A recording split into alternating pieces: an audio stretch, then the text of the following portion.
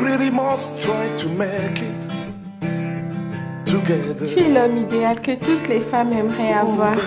Je pense qu'elle fera une bonne épouse et une bonne mère.